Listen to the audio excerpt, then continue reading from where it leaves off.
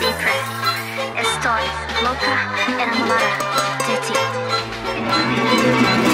Give me an